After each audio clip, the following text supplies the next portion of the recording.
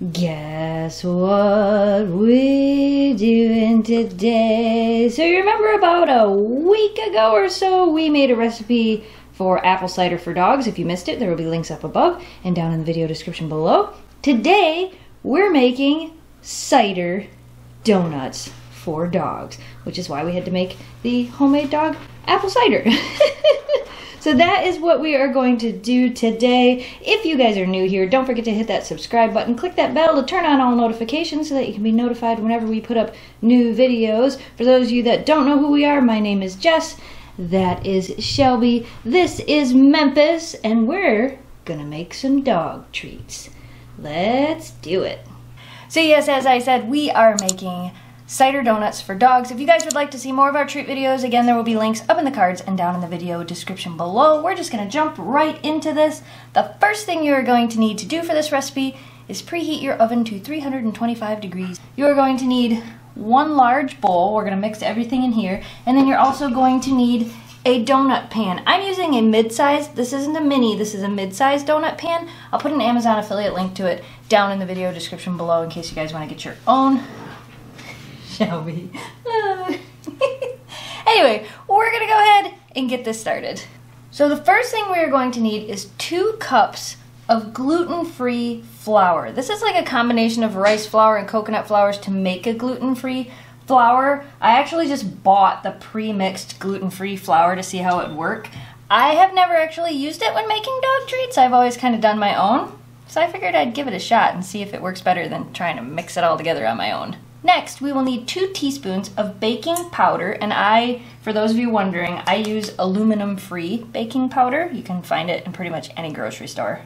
And then we're gonna add just a little bit less than half a teaspoon of cinnamon. There is cinnamon in the cider that we made, so I didn't wanna add too much to it, but you still wanna give it that good smell. You There's not really gonna be a whole lot of stuff here you can actually taste because it all has to go in here. Is that okay? We're just gonna whisk these dry ingredients together for a little bit here. And then after that's all whisked together, we're going to kind of just make a little well in between here where we're gonna pour all of our wet ingredients. Okay, for the wet ingredients, we are going to use one cup of our homemade dog apple cider. I'm gonna stir it because it does tend to settle a little bit. Not that I'm not gonna stir it when it goes in here. Um, if you don't wanna make the homemade apple cider recipe that we made, you can buy unsweetened apple cider. Wanna try it? I know you liked it, didn't you? Shelby has no interest. Shelby's like, I don't want that. It's apples. I will take it when it's all together. Okay, did you get it? Is that enough? Okay, thanks. uh, no, no, no, stay out of the bowl. You stay out of the bowl. I know, you're cute, stay out of the bowl.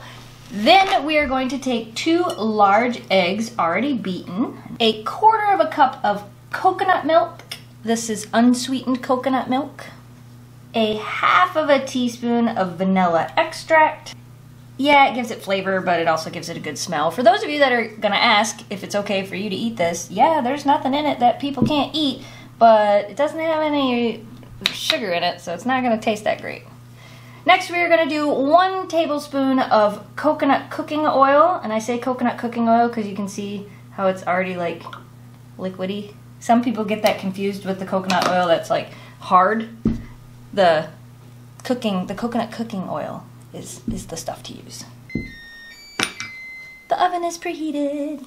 And then last, we're gonna add, oh, you might like this, huh, Shelby? One tablespoon of honey. This will give it a little bit of sweetness, but not too much. And that's it. If you do the coconut oil first and then the honey, you guys taught me this in the comments. It makes it so the honey doesn't actually stick to the spoon. There's nothing there. It didn't stick. Shelby, want to try it? Hey, Shelby. Would you like to try this? Okay. Shelby says no. So now we're to use a hand mixer. I could have used my KitchenAid mixer, but I decided to just go with the hand mixer today. And we're to go ahead and we're to mix this together. And it should be a lot like cake batter. Since we are baking these donuts, they're to be more like a cake donut. We don't want to deep fry them.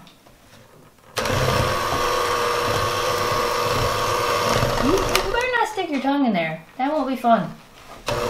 Woo! You want that? How did I know? Oh, here, I have two of them. You really need your own. She can have her own, you can have your own. Did you see that? She's like, I don't want to lick the same one that Memphis is licking. I would like my own. You got it? Is it good? It smells amazing. I have to say, for this being the first time I've actually used the gluten-free flour mix, it looks like cake batter, so it looks pretty good. Next, we are going to coat our pan. I am going to use Baker's Joy. That is my spray of choice, non-stick spray of choice. And then we are going to spoon some of this batter into the little donut things. You want them to be about two-thirds full. You don't want them to fill all the way to the top because these should rise a little bit, so you don't want to fill it all the way to the top. So kind of like when you do a cupcake, about two-thirds full. So about like that. Can you see that in there, how full it is? So I'm going to go through and go ahead and continue filling these. All right, so we have our pan filled up here. The girls are waiting ever so patiently. Would you like to try a little bit of batter just a, okay. What do you think, Shelby? You want to try it? I can see you licking your lips over there. Come here. There you go. She's like, oh, that part I like. You're so goofy. Um, I'll probably be able to get about two rounds out of this. I have about half left. There's about half in here. We're going to go ahead and put this in the oven, again, at 325 for 10 to 15 minutes. You want them to rise a little bit, but be a little springy to the touch when they are done. So that is what we're gonna go do right now. I also wanna take a moment to remind you guys that these are treats. This is not a meal supplement for your dog. This is just a treats. Feed in moderation. And if you're ever worried about what we put in these treats and you don't want to feed them to your dogs, you can always ask your vet. Or if you don't feel comfortable feeding it to your dogs, don't. My dogs like it though, so I'm going to feed it to them. We're going to put these in the oven. Oh my goodness. Are you ready to show them? You ready to show them? The donuts are done? All right, let's see. Dun, dun, dun, so there are our cider donuts for dogs. Now, you could decorate these if you want to. And I thought about it. I thought about doing like a peanut butter dip frosting or a carob dip frosting. Um, but you know what? I think they're super cute just the way they are, so I'm actually not going to decorate them. We're just going to go ahead and let the dogs try them the way they are. What do you think? Do you want a donut? How about you, Memphis? Memphis, do you want a donut? You want a treat? Yeah, you want a treat? You do? All right, let's try the donuts and see what you guys think. I also want to note that I ended up, this is the second round that I made. The first round that I made look a little bit different. Here, let me just show you. So this is one of the first ones that I made. It looks, you can see how it looks a little bit different than the other ones I just showed you. Um, the second round that I made, I put the dough in a piping bag and piped it into the donut thing so that I didn't end up with a bunch of funky edges on the donuts. Oh man, you're ready, aren't you? Okay, let's try a donut. All right, are you ready? Memphis, sit. Sit on your butt. Sit. Good job. Okay, can you speak? Oh. You, you spoke first. There you go. Have a donut. Okay, sit. Memphis, speak. That that was close. Sit. Speak. That was a snort. Speak. There you go. Have a donut. What do you think? Is it good?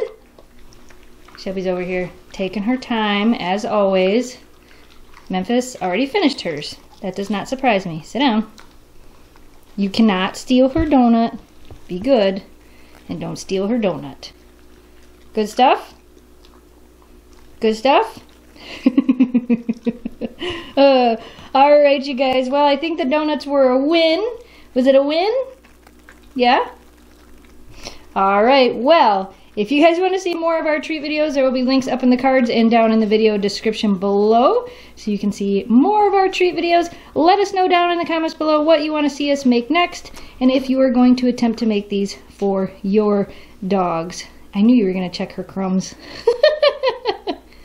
As always, you guys, if you are new to this channel and you like what you saw, don't forget to hit that subscribe button, like this video, and share it with your friends to help us grow the audience. As always, thanks for watching, thanks for subscribing, stay positive, dream big, and we will see you again soon. Memphis, I'm pretty sure she ate it all. She didn't leave you any.